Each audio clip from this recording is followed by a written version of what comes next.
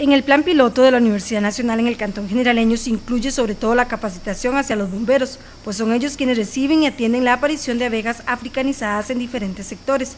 Según el plan, recibirán una capacitación en prácticas tendientes a la recuperación, preservación y traslado de enjambres y colmenas establecidas a sitios seguros o ser entregados a apicultores para el fortalecimiento de la actividad. Para ello se formalizaría un convenio entre los bomberos y la Asociación de Apicultura Ecológica del Valle del General.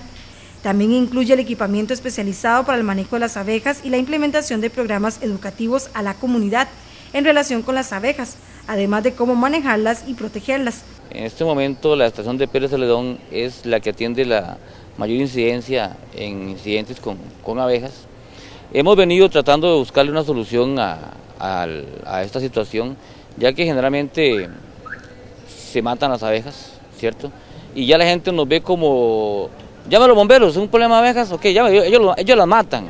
Y realmente lo que estamos haciendo es creando un daño este, casi que irreversible si se llega a cierto nivel y podríamos este, tener muchos problemas a nivel ya eh, de ambiente a eliminarlas. Entonces, este, mediante la Universidad Nacional, nosotros y la Asociación de, de de Pérez León, este proyecto aún está en preliminares, pero se tiene toda la disposición para trabajarlo. Eh, estamos trabajando en un proyecto, de momento está en, borrador, ¿cierto?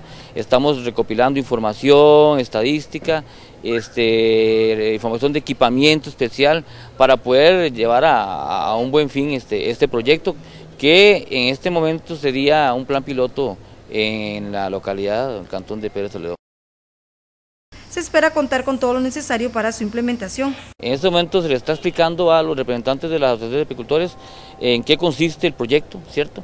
Eh, tenemos que tener presente que vamos a emplear técnicas que ya no van a ser de eliminación, sino que van a ser de, colectar abejas. Para eso existe equipamiento especial y otro tipo de, elementos que es importante que en este caso los bomberos eh, sepamos cómo, cómo trabajarlo, ¿cierto? Los bomberos participan en todo el proceso que lleva a cabo la universidad.